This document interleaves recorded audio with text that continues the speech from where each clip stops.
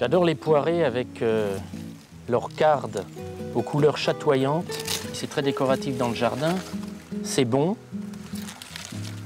Voilà, c'était un légume qu'on cultivait plus beaucoup. Il faut vraiment être un petit peu les, fêlés dans notre genre pour avoir relancé euh, la culture de, de ce type de légumes qui apporte une touche euh, extraordinaire dans le jardin. Allez, la rhubarbe aussi, c'est joli. Ça a des grandes feuilles.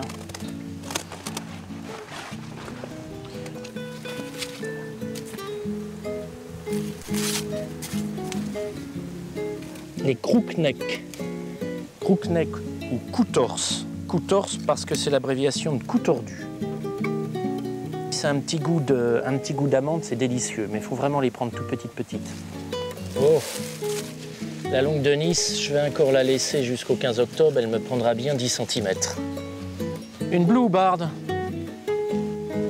Oh, elle fait bien ses 12 kilos. Ah bah celui-là est beau.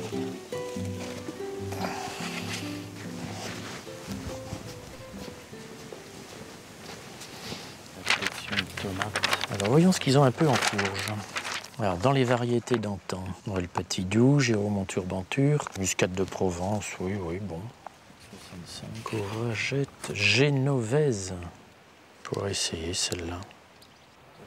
Dans le milieu des jardiniers et des producteurs de semences, certains crient haro sur une réglementation trop stricte en matière de diversité disponible au potager. Si je voulais faire tous les légumes disponibles dans tous les catalogues officiels, euh, je pense qu'il me faudrait dix fois la surface que j'ai là, si c'est pas plus. Donc je crois qu'on a déjà pas mal à notre, euh, disposition. La curiosité veut qu'un certain nombre d'amateurs, dans mon genre, mais d'autres, euh, veulent avoir ce qui n'existe pas. Et c'est toujours, évidemment, le petit côté euh, sympa des choses qu'on veut. Le collectionneur de timbres, il veut le timbre que personne n'a. Eh ben, le, le- le- le- jardinier amateur, le potagiste, lui veut aussi la variété.